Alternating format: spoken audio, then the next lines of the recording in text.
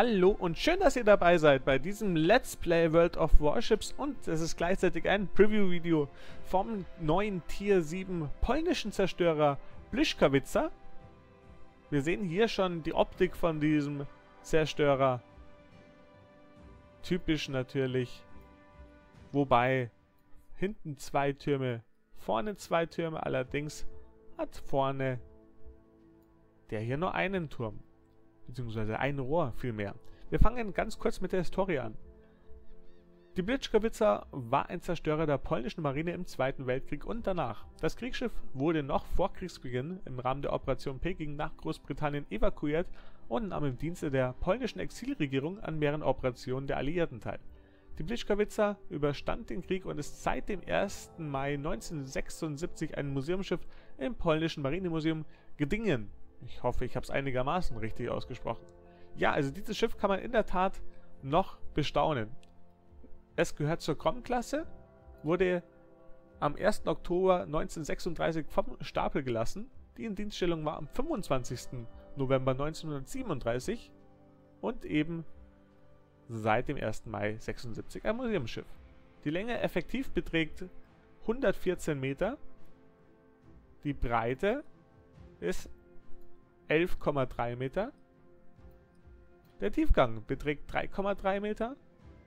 Die Standardverdrängungen sind 1975 Tonnagen. Und die Besatzung sind 192 Mann. Nun gehen wir aber in die virtuelle Welt und schauen uns die Spielwerte an. Dann natürlich zuerst mal die Module. Wir haben 120 mm Geschütze, der Rumpf hat 15.500 Hitpoints, bei einer sehr reduzierten Panzerung natürlich. Die Torpedos gehen 8 Kilometer weit, haben eine Geschwindigkeit von 57 Knoten und ihr könnt damit einmal in der Minute schießen. 12 Kilometer beträgt die Reichweite der Geschütze und wir haben eine Leistung von 54.000 PS, was eine Höchstgeschwindigkeit von 39 Knoten bedeutet. Zur Überlebensfähigkeit haben wir schon alles gesagt, 15.500 Struktur bei 10 bis 16 mm Panzerung. Die Artillerie, wir haben hier vorne die Hauptbatterie mit dem einen Rohr, ansonsten 3x2 mit 120 mm. Torpedos, 8 Kilometer Reichweite und 2x3, mittig positioniert natürlich im Rumpf, das heißt dementsprechend 6 Torpedos auf eine Seite abfeuerbereit. Die Flugabwehr. 4x2 13,2 mm Geschütze, die 2,1 Kilometer, 2,1 Kilometer Reichweite haben, bei einem mittleren Schaden von 12. Sehen wir hier, klein und süß. Dann gibt es noch 40 mm 2x2 Stück. Die haben dann doch noch etwas mehr Wumms. Kommen auch sogar weiter, nämlich 3,5 Kilometer bei 18 Schaden. Manövrierbarkeit. 39 Knoten, Höchstgeschwindigkeit, wie schon angesprochen, 610 Meter Wendekreisradius und eine Ruderstellzeit von 5,8 Sekunden. Nun, nachdem wir wissen, 8 Kilometer Reichweite der Tops ist natürlich wichtig, wann gehen wir auf? Oberflächen, Oberflächensichtbarkeitsreichweite sind 7,7 Kilometer und aus der Luft passiert das Ganze bei 3,8. Nun gut, das waren die Zahlen, Daten, Fakten. Nun gehen wir aber ins Spiel. Nun geht's also auch gleich los auf der Karte Nordlichter im Herrschaftsmodus. Und wir sehen schon ein sehr stimmungsvolles Setting. Und was gibt's schöner als eine dunkle Karte mit einem Zerstörer zu fahren? Da können wir uns vielleicht noch ein bisschen mehr aus dem Hinterhalt an den Gegner anschleichen und für Angst und Schrecken sorgen.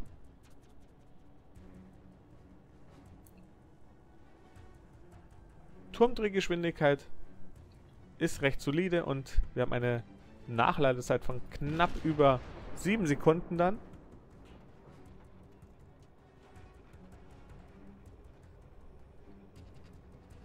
Da vorne ist also auch schon die Pensacola. Und da schießen schon die ersten auf die Pensacola, das heißt, die ist schon offen. Da drehe ich ja mal gleich weg, weil ich habe jetzt keine Lust, auf mich geschossen zu bekommen, aber Ich bin ja sogar schon offen gewesen, also das heißt, der gegnerische Zerstörer darf nicht weit weg sein. Das heißt, ich schieße einfach mal Proxy mal ein paar Torpedos da in die Mitte.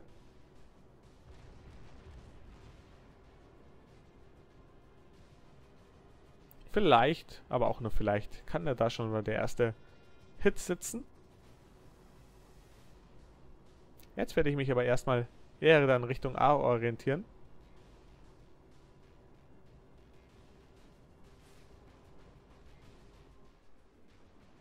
Ja, ich denke, die werden in keinster Weise ein Ziel finden. Aber wie gesagt, könnten ja auch eine abschreckende Wirkung auf den Gegner haben.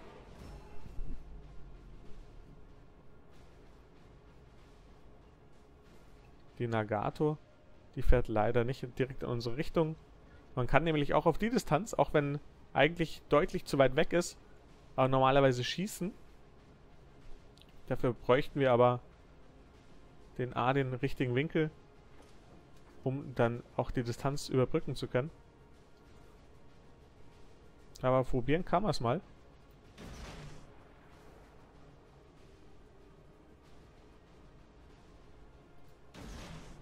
Man weiß ja nie, was passiert. Ich bin schon wieder entdeckt. In dem Fall darf, muss das ein Zerstörer sein. Also kann hier die Farragut oder die Sims sein die hinter mir ist.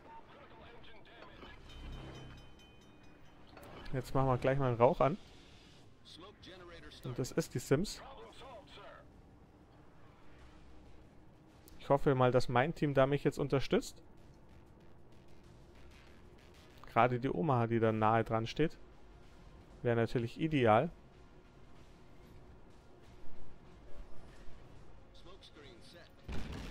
Aber aufgrund dessen, dass jetzt hier der Gegner nicht vorhanden ist, kann ich da auch mal versuchen drauf zu schießen. Traurig aber war, dass der Gegner hier mit der Sims so lange sich da behaupten konnte, ohne dass da auf ihn geschossen wird. Meine Torpedos haben leider keinen Weg Richtung Gegner gefunden.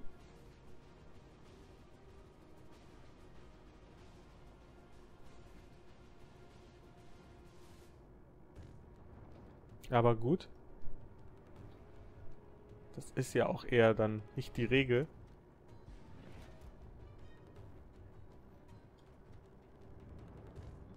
Und aber der A-Punkt, der ist aktuell noch sehr vernachlässigt vom Gegner. Dann kümmere ich mich da mal um den.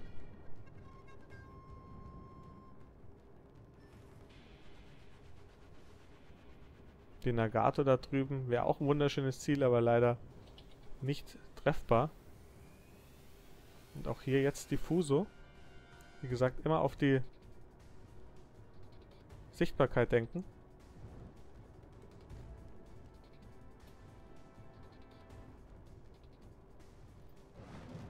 Schon wieder offen. Die Sims ist da extrem unangenehm.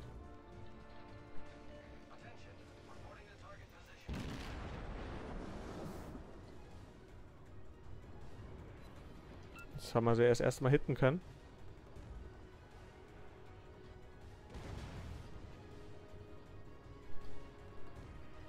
Aber wie gesagt, ich bin hier offen, muss hier echt die Distanz da zwischen mich und den Gegner bringen. Sims macht da einen guten Job. Das muss man eher auf jeden Fall mal lassen. Hat natürlich auch unglaublich schnell schießende Kanonen, also da lebt die Sims dementsprechend auch von. Aber jetzt habe ich hier genug Team im Hinterhalt, das da unterstützend agieren sollte.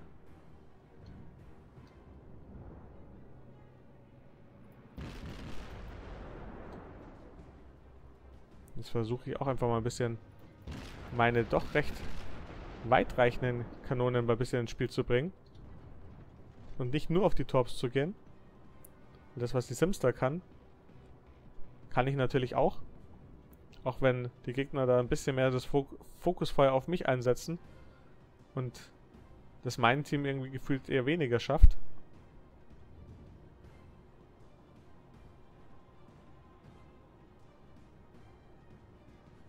Nagato und Fuso sind auch natürlich schon dicke Wummer. Und eines darf man leider auch nie ganz außer Acht lassen. Ich bin einfach nicht der klassische Zerstörerspieler. Die Sims macht es jetzt hier hinten sehr, sehr gut. Man sieht die Schüsse aus dem Hinterhalt. Das heißt, die hält jetzt einfach hier von hinten drauf. Kann da jetzt dementsprechend schießen, ohne dass sie selber aufgeht oder da jetzt im Bedrängnis kommt.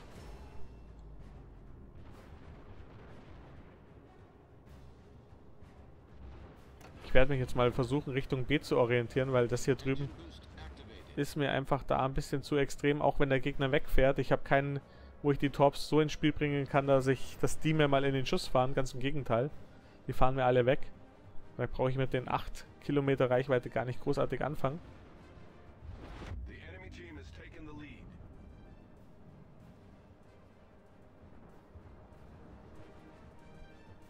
Aber aufgrund der Geschwindigkeit, die hier gerade mit Boost ist, kann ich natürlich dementsprechend mal versuchen, Richtung B zu fahren. Sofern hier nicht irgendwas Unangenehmes gleich entgegenkommen wird. I go for B. So. Unser Team fällt gerade rapide. Aber auch das hier drüben ist sehr suboptimal. Unser, unsere Nagato. Das, da passt gerade vieles nicht von unserer Teamaufteilung.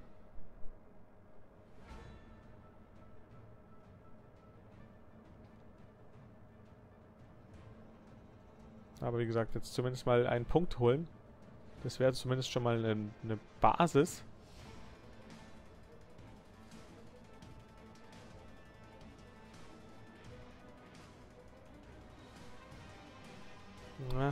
Die Pensacola ist leider so am Fahren, dass ich da meine Torpedos nicht anbringen kann.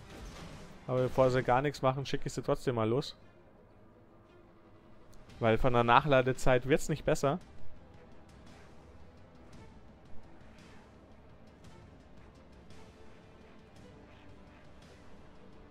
Aber auch die entfernt sich jetzt schon wieder. Die dreht schon wieder bei. Läuft alles nicht so perfekt für die Runde.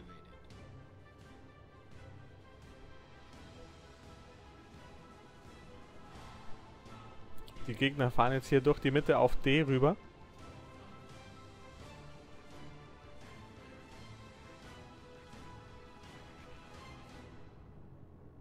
Ich könnte jetzt höchstens versuchen, da nochmal auf die Colorado zu gehen. Jetzt wird hier blind drüber geschossen. Wie es zumindest aussieht.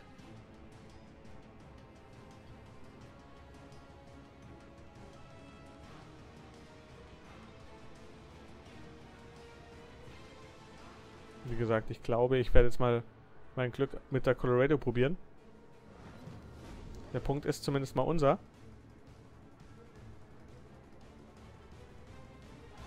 Aber auch hier wieder 7,7 Kilometer. Steht über allem.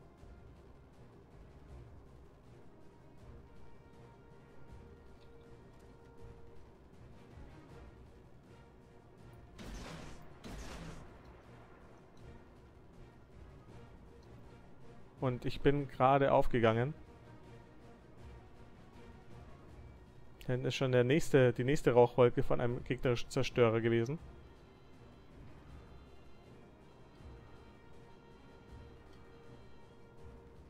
Da bin ich wieder offen. Aber dadurch, dass der Gegner gerade kein Auge für mich hat, kann ich hier so ein bisschen mal da mal reinhalten.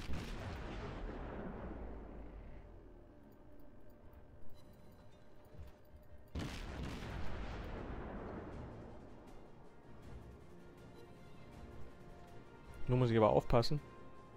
Die Farragut kommt da schon näher. Hat die Coriolis gut gemacht, ist nämlich, hat nämlich einfach abgebremst. Aber jetzt bin ich außerhalb der Sichtweite, also wenn ich jetzt zu bin, bin ich auch zu.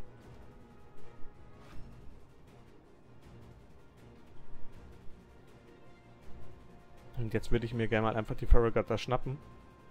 Weil die wird jetzt wahrscheinlich sich hier hinter orientieren, um den gegnerischen Carrier zu verteidigen.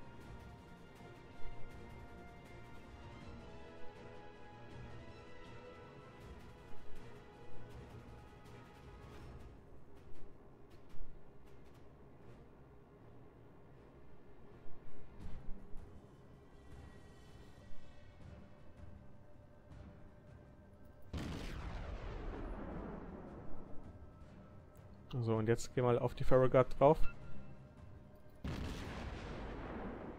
Und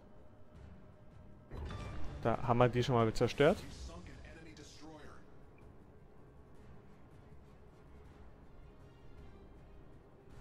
Aber es schaut hier nicht so aus, als ob hier noch ein Carrier irgendwo wäre.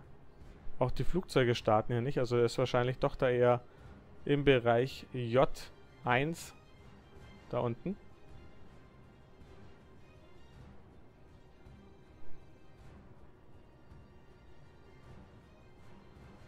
Hatte das mich da ein bisschen ablenken lassen.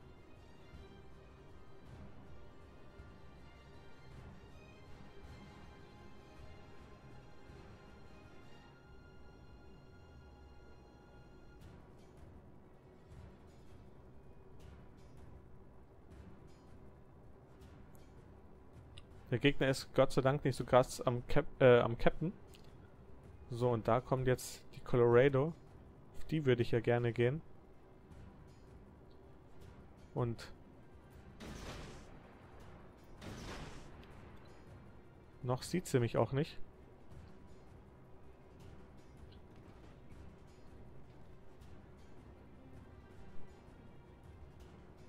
Weil ich hier hinterhalb der Insel bin eben für sie. Dementsprechend ist meine Hoffnung, dass so ein bisschen die Torps da überraschend agieren. Aber das können wir uns leider natürlich jetzt nicht mehr in der Gewissheit ansehen. Aber zwei haben doch getroffen. Drei sogar.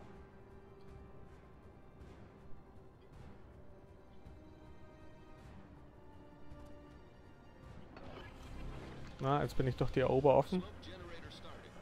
Also Rauch an. Und Engine Boost auch an.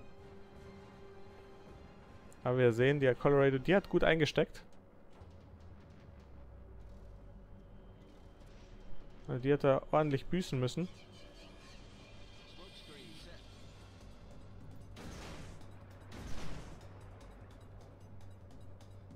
So, die Erober hat genug. Die fahrt weg.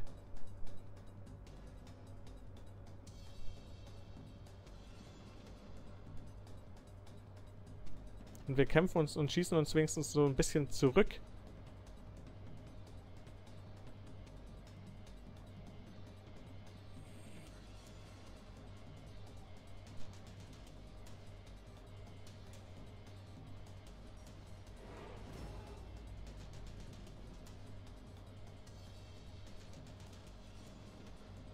Ich hoffe, der Ober wird jetzt noch beitreten, das wäre sehr schön.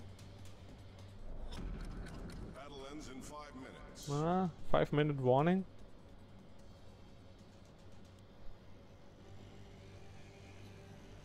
So, da ist nochmal einer, zwei nochmal angekommen bei der Erober. Also von dem her, die Gegner machen mir da schon gerade den Gefallen, dass sie gut in die Torpedos reinfahren. Und jetzt hier aus der Luft eben, da muss man aufpassen. Ich habe keinen Rauch mehr. Vielleicht noch sneaky anschleichen an den Flugzeugträger.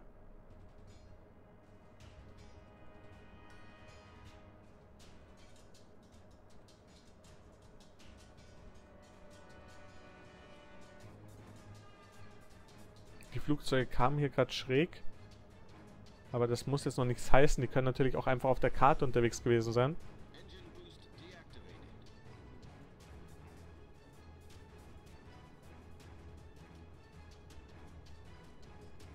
So, jetzt geht der Gegner auch auf den B-Bereich. Jetzt muss ich aufpassen.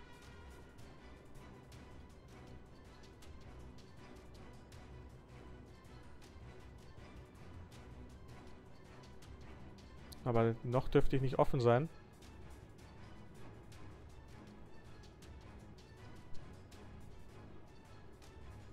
Die Fuso kommt allerdings schon in meine Richtung.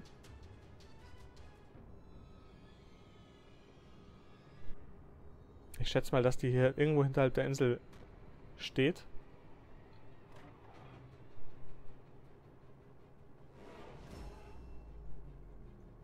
Und nun kommen auch die Flugzeuge final in meine Richtung. Also jetzt ist alles egal.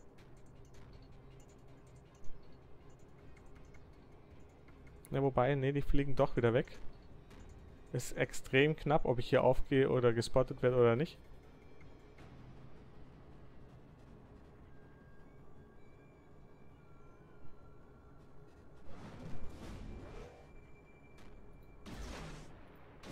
Hier nochmal die Fuso. Auch die, dadurch, dass die so in meine Richtung fährt, könnte die trotzdem innerhalb der 8 Kilometer dann kommen.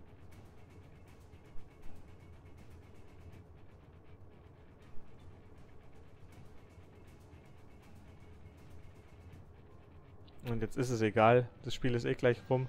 Wir sorgen noch für, für ein bisschen Action.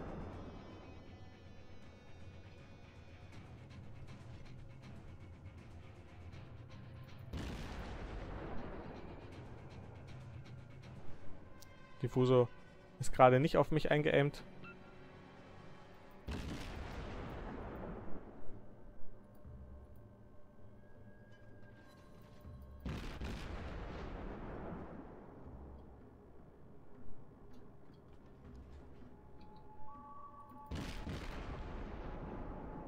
Und wir heizen einfach nach. Es sind jetzt nur noch 34 Tickets.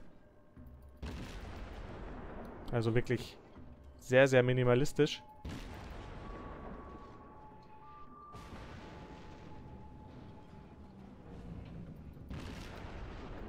Nur noch 16.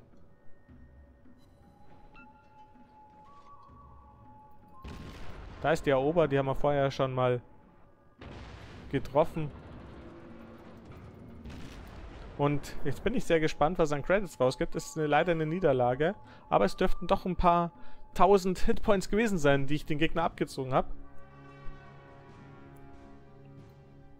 Teamwertung sind wir auf Platz 2 gelandet, einen Abschusshammer vermelden können und es waren knapp über 40.000 Schaden. Ist jetzt vielleicht nicht weltbewegend, aber ich denke, man hat so einen guten Eindruck bekommen und natürlich wichtig sind die Kreditpunkte.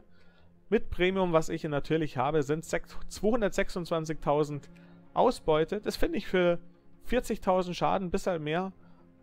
Absolut in Ordnung. Also von dem her, für Zerstörerspieler bestimmt ein sehr feines, spaßiges Schiff. Ich hoffe, euch hat es gefallen. Bis zum nächsten Mal. Euer Alcaramba.